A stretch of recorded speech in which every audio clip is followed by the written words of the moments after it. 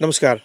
सुर्खेतबाट म सन्तोष देउजा। हामीले follow-up video reporting तपाईँको माझ प्रस्तुत गरिरहेका छौँ। गणेशको साथीहरू मसँग हुनुहुन्छ दुईजना।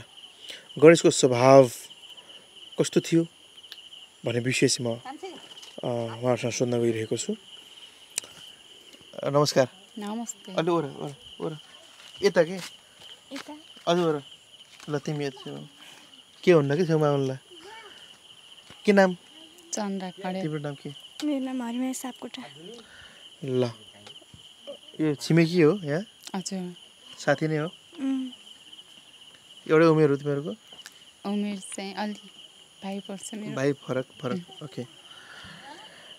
अनि यो गणेशलाई सानोबाट देखेको यहाँ हजुर सानोबाट सँगसँगै हुर्केको है चन्दा हजुर कस्तो हो केटो गणेश? भाइ चाहिँ अब ह्यान्डसमै हो अब सिधा सिम्पल. अनि हेन्सम भयो त यहाँ सबै पु- गोलमाल भइरहेछ। अनि त्यस्तो नराम्रो स्वभाव बानी व्यवहार त्यस्तो केही पनि थिएन। अनि अहिले पनि त्यस्तो अझै सुनेको पनि थिएन ठिकै हो के अरे परेको थियो पहिला? नाइ कसको भाइको? नाइ त्यस्तो त सुनेको पर्ने? सुनेकै थिइनँ मैले त।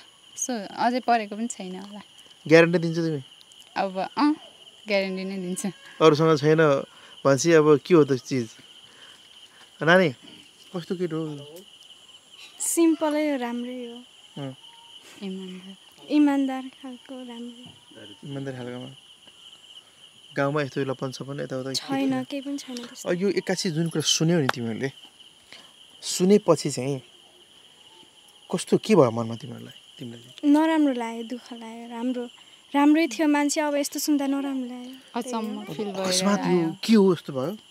अँ, कि अलिअलि तिमीलाई अलिअलि छनक थियो? छैन। थिएन। थिएन। मिडियामा त के के आयो भने जङ्गलमा भेटेको होइन? अनि त्यसपछि लिएर दुईजनालाई सँगै भेटेको पहिला पनि यिनीहरू यस्तो गरेको भनेर चाहिँ आइरहेछ। तिमीहरूकै फोटो छ है फेरि। तिम्रो फोटो घरको परिवारको फोटोहरू छ। त्यो के हो? त्यो होइन त्यस्तो। आरोप हुनसक्छ त्यस्तो नराम्रो अब त्यो मिडियामा हालिदिने मान्छेले गलत हालिदिनु भयो होला। जङ्गलमा हामी भेट्यौँ। भतिजो र आन्टीलाई त जङ्गलबाट यसरी भेट्यो बारीको काँला मुनि भेटेको भनेर। त्यो होइन। त्यो झुटो। होइन त्यस्तो। अनि त्यो आन्टी त तिमी चिन्छौ नि यहाँ आउनु जाने अरमा परमा होइन यो त सबै हो चल्छ होला तिमीहरूको। हजुर। कस्तो खालको थिएन उनी? पहिला त राम्रै हुनुहुन्थ्यो के अब यसपछि आजकल अब बाहिर बाहिर हिँड्नुहुन्थ्यो अनि त्यसपछि घरमा बस्नु थिएन अनि त्यस त्यस्तै हो। प्रायः बाहिरै भयो। हजुर प्रायः जस्तो बाहिर हिँड्नुहुन्थ्यो। घरमा सुतिनुहुन्थ्यो एक दुई तिमीलाई दिन लाज बस्ने लागिरहेको छ क्या हो अहिले बोल्न एकदम अप्ठ्यारो। अलिक खुलेर बोल न खुलेर। अप्ठ्यारो मान्नु भएन। ए भनेको बाहिर फेर प्रायः गरेर हिँडिरहने आन्टी। तिमीसँग कति मिल्थे हामीसँग खासै त मिल्नु थिएन त्यही पनि। हल्का हल्का। तिम्रो घर चाहिँ यहाँ नजिक हो? अँ यता तल पर्छ तलपट्टि पर्छ होइन? अनि त्यो आन्टीको चाहिँ स्वभाव कस्तो थियो? तिमीलाई के लाग्छ? खै पहिला त राम्रो थियो बिस ए, यो बिसदेखि नै बाहिर बाहिर हिँड्ने राम्रो थिएन बिस भने के हो? बिस अब बिचमा बाहिर बाहिर बिचमा, बाहिर जानुहुन्थ्यो। बाहिर जानुभयो अनि त्यहाँदेखि नै नराम्रो स्वभाव भयो।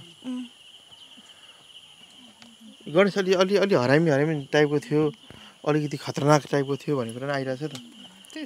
खै। त्यस्तो त लाग्दैन हामीसँग त्यस्तो बोल्ने त्यस्तो केही पनि छैन कि लपन झपन भने जस्तो। त्यो छैन। केटीहरूसँग त ठाडो नजरले पनि हेर्थेन तिमीहरू। हेर्थ्यौ होला होइन? अब हामीले त भाइलाई कहाँ हेरिन्छ। हेरिन्छ नि भाइलाई अब त्यस्तो त पुरै ग्यारेन्टी। दिइरहेको छु यार तिमीले त केटीलाई ठाडो नजरै हेर्थेन भनेर तिमी उसको लभै परे छैन भनेर पुरै ग्यारेन्टी दिइरहेको नि आफ्नो भाइ कस्तो छ अनि भनेर त सँग- सँगसँगै साथसाथै हुर्क्या हो। हजुर है नजिकै यो मेरो घर त्यही भएर सँगै पनि प्रायः जस्तो गीत नै गाउँथ्यो। गीत सुनाउँथ्यो। हजुर। तिमी पनि गाउँथ्यौ गीत त। होइन मैले त गाउँथेन सुन्थेँ। तिम्रो स्वर सुन्दाखेरि बोले सुन्दाखेरि गीत पनि मिठो गाउँछ जस्तो लाग्यो मलाई। होइन म गाउँदैन गीत त। तिम्रो चान्स है गाइहाल। गीत त। अनि सापकोटा बहिनी अब जसरी अहिले अब तिमी फेसबुकहरू हेर्छौ युट्युब हेरेछौ? हेरेछौ नि? यो यो न्युज हेरिरहेछौ? यसरी चाहिँ आफ्नो गाउँको बारेमा यो राम्रो भएको छ त? छैन दुःख लागिरहेछ आफ्नो गाउँ। आफू हामीलाई समेत भन्छन् मान्छेहरू। के भन्छन्? अब आफ्नो गाउँको यस्तो भयो अब तेरो गाउँमा यस्तो रहेछ यस्तो मान्छेहरू रहेछन् भनेर भनिरहन् धेरैले। साथीहरू टाढाको गाउँकै बदनाम भयो जस्तो भयो। अँ आफ्नै आफ्नैसम्म बदनाम भयो जस्तो लाग्यो। आफ्नै गाउँको बदनाम भयो त्यस्तो लाग्यो अहिले। तिमीलाई के भइरहेछ? मलाई पनि त्यही नै हो। हो?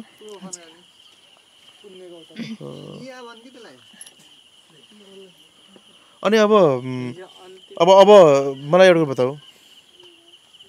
पढ्ने स्कुल एउटै हो? गणेश तिमीहरूको एउटै हो? एउटै स्कुलमा पढ्ने अनि क्लास फरक फरक होला क्लास फरक फरक। भनेको आन्टी र उसलाई भतिजोलाई चाहिँ तिमीहरूले कहिलेकाहीँ त्यस्तो एक्लै एक्लै भेटेको त्यस्तो घटनाहरू केही छ? एक्लै एक्लै भेटेको त भन्दा नि हिँडेको पनि थाहा भएन। अब घरमा त अब सँगै बस्ने सँगै खाने. सानैदेखि उहाँले नै पाल्नु भएको हो. अब उहाँले नै दुध खाएर हुर्काउनु भएको। कसले? आन्टीले। तिमीलाई तिमीलाई यो कुरा थाहा छ? अँ यहीँ माथितिर बस्नुहुन्थ्यो अब सानो थियो त्यो गणेश पनि अनि। उहाँ पनि भर्खर बिहे गरेर आउँदाखेरि अब उहाँले नै दुध खाएर हुर्काउनु भएको अब हामी पनि त्यहाँ गइरहेको थियौँ। देखेको थिएँ मैले। कसरी अब गणेश सरले चौध वर्ष भए? उनले मलाई भन्दै थिइन् कि मेरो उमेर चौबिस वर्ष भयो भनेर। उनी दस वर्षमा उनले उनले गणेश दुध खुवाइन्? दुध खुवाएको हजुरआमाले हो क्या? पाल्नु भएको थियो उहाँले नै। भने भने भनेको काखमै हुर्केको। हजुर काखमै भन्न खोजेको मिस्टेक भयो ए ए ए। ल बहिनीहरूलाई धन्यवाद अब गणेशको लागि यति बोलिदिनु भएकोमा होइन? अन्त्यमा तपाईँ के भन्न चाहनुहुन्छ? आफ्नो गाउँको यत्रो बदनाम जस्तो भयो हेर्नुहोस्। बदनाम भइरहेछ। अबदेखि यस्तो घटना नहोस् भन्ने चाहन्छु म त। यो ठाउँमा? हजुर। यो यो ठाउँ मात्रै होइन कि विश्वमै? जहाँ पनि यस्तो घटना। ठाउँमा पनि। होइन? हजुर। तिमीलाई के भन्नु मन लाग्छ? मलाई पनि त्यही नै हो। के त्यही नै हो? आइजान आइजान ल त दुवैजनालाई धन्यवाद छ यति बोलिदिनु भएकोमा। है त। के नाम? तिम्रो मेरो मिना सापकोटा हो। म मेरो के घरमा भयो यो गाउँमा यस्तो यो? यस्तो भयो त नि लाजैको मर्नु भयो हाम्रो सबैको लाज भयो। सोचि नसक्नु भयो त नि सर। यी गङ्गा छिन् नि। हजुर। कस्तो थियो कस्तो थियो नि यहाँ? पहिला त ठिक थिइन् सर हामी अब पहिला साथ गर्थ्यौँ अलिक बर्खा जाँदा अहिले एक वर्ष जति भयो तिनको र हाम्रो साथ छुटेको। किन? तलमाथि भयौँ। त्यही भएर। ठिक थियो बिचमा घर छोडेर हिँड्दाखेरि अनि यो आइमाईको चरा यो नाटकै गर्न खोजेको क्या यो आरापै लगाएर बाहिर बाहिर हिँड्दाखेरि एउटाको एउटालाई टाँसा लाउन खोजेको कि जस्तो मानि लाग्छ मनमा। अब अरू मलाई केही थाहा छैन सर। यी कहाँ? आमा छोराको अब बिचमा केही भएको थियो कि अब त्यति कुरा पनि थाहा भएन। अनि हिँड्दाखेरि दिदी लाग्छ है। बाबु त एकदम ठिक हो। गाउँकाले नि. कहाँ कहाँ भेटेँ भनेर तपाईँ आइरहेको न्युज त्यो के हो? नै त्यो त भेटाएनौँ त्यो नराम्रो तरिकाले अब आमा छोरालाई एक ठाउँ हामीले भेटाएनौँ. देखेको कुरा गर्नुपर्छ। बाबु एकदम राम्रो हो सिम्पल हो राम्रोसँग पढ्थ्यो। अब हाम्रो स्कुल जाने बाटो त्यही हाम्रो घरको बाटो स्कुल जान्छ। अब तिनै बाबुहरूको यिनकै भरमा छोडेर म इन्डिया पनि दुई चार महिना इन्डिया गएर काम गरेर पनि आएँ सर.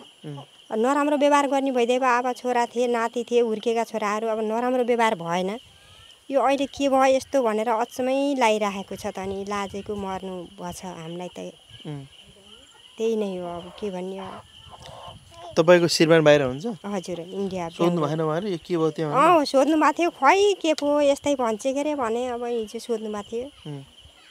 के हो त यस्तो अचम्म? अनि हाम्रो ठाउँमा त यस्तो भएछ त भन्नुहुन्थ्यो।